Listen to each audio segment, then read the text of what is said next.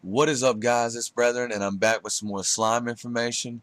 Lately I've been getting a lot of messages on Xbox and also on my channel and things like that regarding different slime topics. So what I've done is I've just put all the information into one video so you guys can click on it and just whatever you need to know, uh, find the right video that's right for you. Okay, if you click on the upper left hand video, that will give you the slime coordinates to where you need to build your slime farm. If you click on the upper right hand video, that's an expert slime farm you can take a look at and kind of get some ideas from and stuff and um, you know build your own there. And if you click on the bottom video, that is the easy, most fastest way to build your slime farm and that gives you a full tutorial on how to do that.